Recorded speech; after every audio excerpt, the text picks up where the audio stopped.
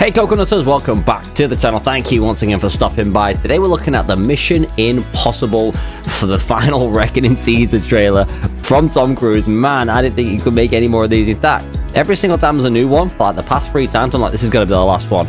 I'm not complaining. I love Mission Impossibles, and this guy doesn't age. Anyway, let's check out the trailer.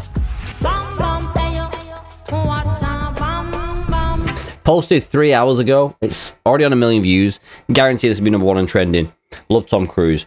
If it doesn't age or he's got a lot of money for some cosmic surgeries, I'm thinking it's a later one. Probably a bit of both. Anyway, let's go.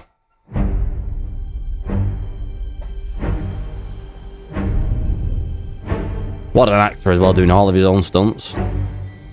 Our lives are not defined by any one action. Our lives are the sum of our choices. I love me a Tom Cruise film. Everything you've done has come to this.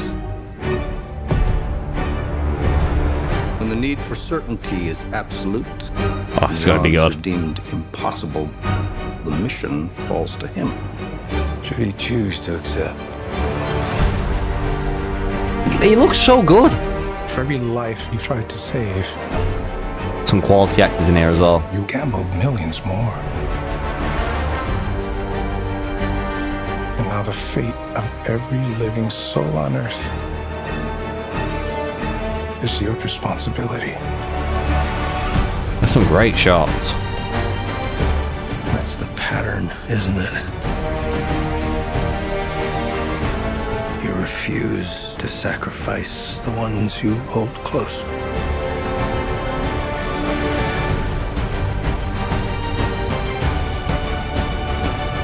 Bro, this is gonna be good. These shots look so clear as well.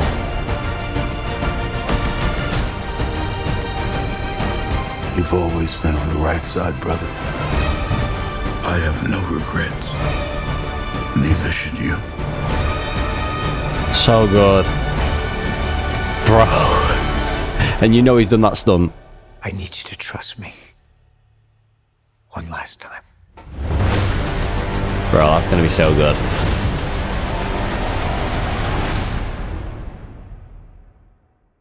Hey man, that's how you do a teaser. I mean, you couldn't hear any audio in the background of any of those those shots. It was just the dialogue of someone speaking.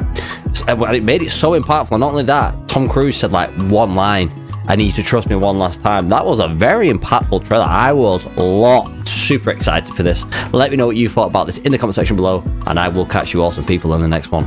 Peace.